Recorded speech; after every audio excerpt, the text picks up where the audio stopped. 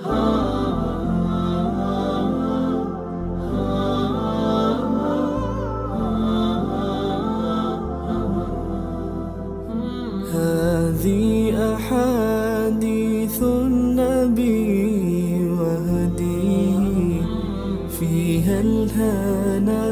وسعادة الإنسان. كالشمس تعطينا الحياة بنورها فتبدد الظلماء في الأكوان. وصحيح مسلم فيه أفضل ما روى أهل الحديث بصحة وبيان.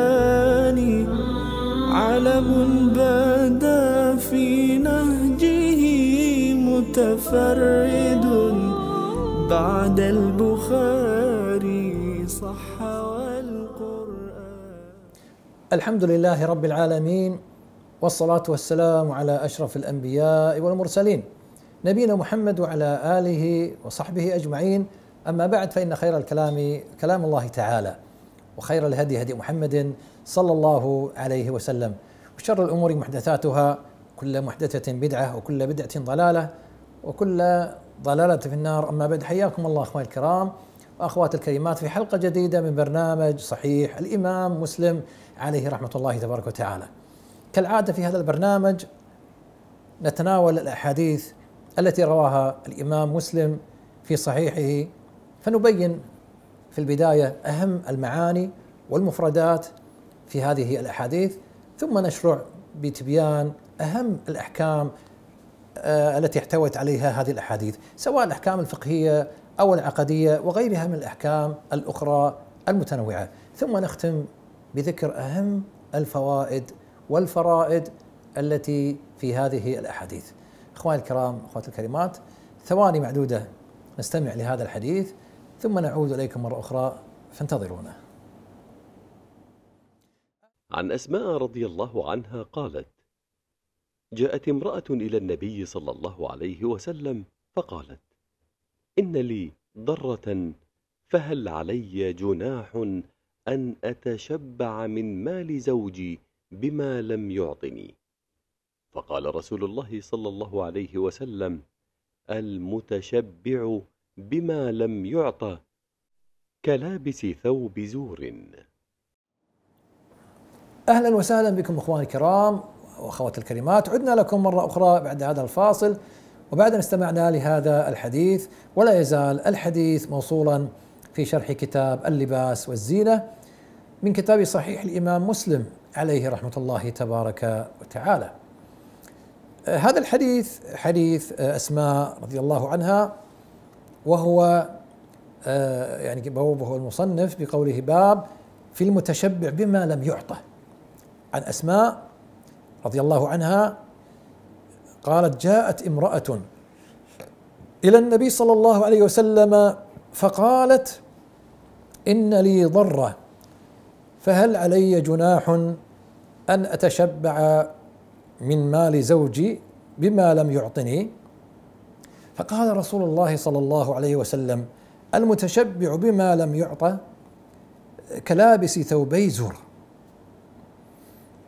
آه، يعني في هذا الحديث طبعا آه، تبين أسماء رضي الله عنها وأرضاها إن امرأة آه، قالت للنبي صلى الله عليه وسلم إن لها زوجة أخرى مع زوجها تسمى الضرة. وتحب أن تقول إن زوجي أعطاني كذا وأعطاني كذا وهي كاذبة. لكن تريد أن تغيظ ضرتها. فهل عليها في ذلك إثم؟ فهنا النبي الكريم صلى الله عليه وسلم أخبر هذه المرأة أن المتزين بما ليس عنده يتكثر بذلك آه، هو صاحب آه، كذب. وصاحب زور وتدليس. وهذا لا يجوز للأسف هذا الآن موجود عند آه، كثير من النساء تتشبع بما ليس عندها بما لم تعطى. وهذا للأسف يكون عند النساء الغيرة فتدعي عندها كذا وعندها كذا. فكل ذلك للأسف لا يجوز ولا ينبغي. فاذا المتشبع هو الذي يظهر الشبع ويظهر عنده كذا وكذا هو ليس بشبعان. والمراد آه، في ذلك أنه يظهر يعني يظهر أنه حصلت له آه، فضيلة وهو لم يتحصل عليها أو هي لم تتحصل عليها. كلابس ثوبي زور يعني أي الذي يزور على الناس بأن يظهر بهيئة خادعة يزور على الناس يكذب على الناس يدلس على الناس حتى يغتر به الناس. وهذا الآن للأسف انتشر عند كثير من الرجال والنساء. أصبح آه، أصبحت هناك أمراض اجتماعية. آه، العجب إنسان يعجب بنفسه ويعني يكذب ويزور خصوصا مع وجود التواصل الاجتماعي. فتخرج النساء تبين أن عندها كذا وعندها كذا. ربما تؤجر منزل وتصور هذا المنزل توحي للناس أن هذا منزلها مثلا. ربما آه، رجل يصور سيارة يستأجرها لمدة يوم ويبين أن هذه سيارته مثلا. يعني كل ذلك آه، من باب آه، العجب والكذب والتزوير على خلق الله سبحانه وتعالى.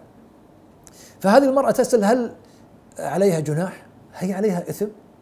انظر إلى حرص الناس على استفتاء النبي صلى الله عليه وسلم أو حرص الصحابة رضي الله عنهم رجالا ونساء. وهذا ما ينبغي على المرء المسلم.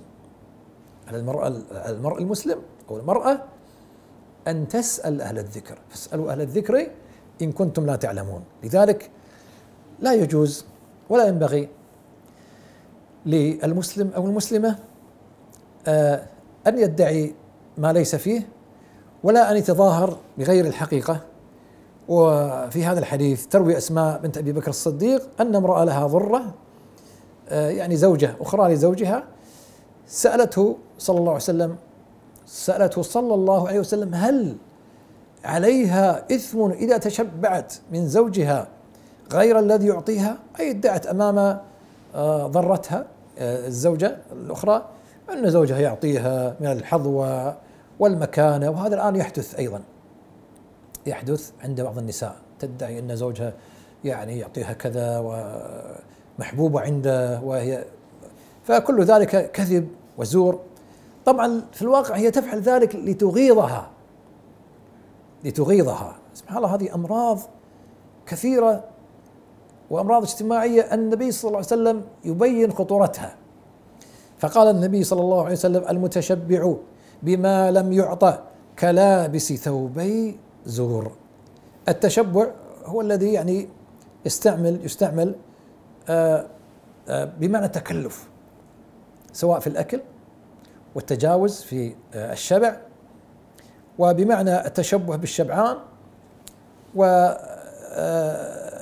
والمتشبع هو المتكثر بأكثر مما عنده. فيرائي في ذلك ويتكبر في ذلك ويدعي ويتظاهر بما ليس فيه ولا عنده. والنبي صلى الله عليه وسلم شبه آه، ذلك قال كمن يلبس آه، يعني ثوبي زور كثوبي ثوبين مستعارين.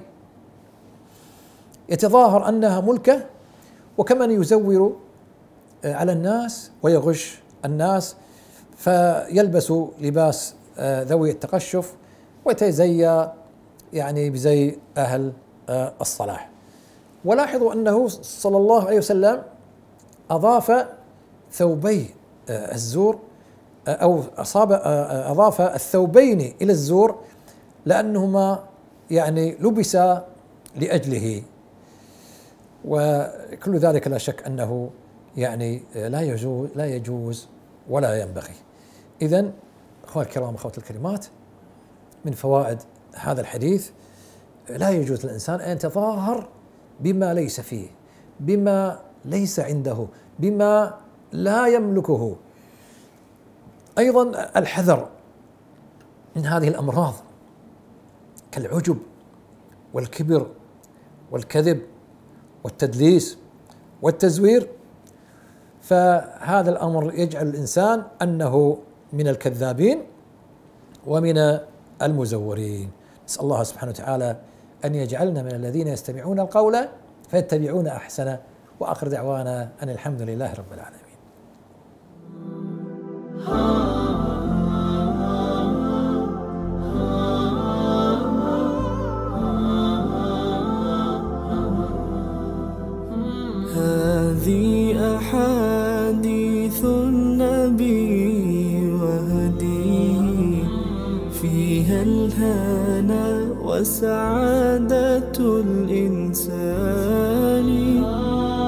كالشمس تعطينا الحياة بنورها فتبدد الظلماء في الأكوان. وصحيح مسلم فيه أفضل ما روى أهل الحديث بصحة وبيان علم بدا في نهجه متفرد بعد البخاري.